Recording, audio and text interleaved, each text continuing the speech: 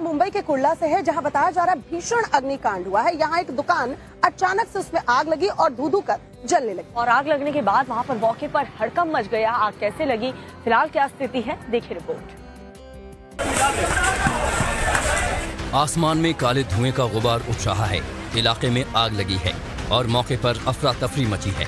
आगजनी की ये तस्वीरें मुंबई के कुरला इलाके से आई हैं। यहाँ कुरला पश्चिम स्थित एलबीएस मार्ग पर एक कबाड़ की दुकान में आग लग गई। आग लगने के बाद मौके पर चीख पुकार मच गई।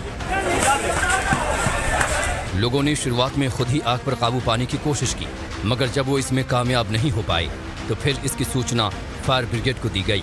सूचना मिलते ही दमकल की कई गाड़ियाँ मौके पर पहुँची और आग बुझाने के काम में जुट गई।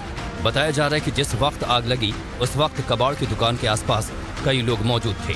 आग को देखते ही लोगों ने किसी तरह से भागकर अपनी जान बचाई। कबाड़ की जिस दुकान में आग लगी, उसके पास ही एक डंपिंग ग्राउंड मौजूद है।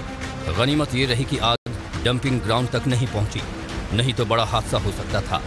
फायर ब्रिगेड की कई गाड़ियों ने मौके पर पहुंचकर आग पर काबू पाया। आग बुझाने में फायर ब्रिगेड की टीम को कई घंटों का वक्त लगा।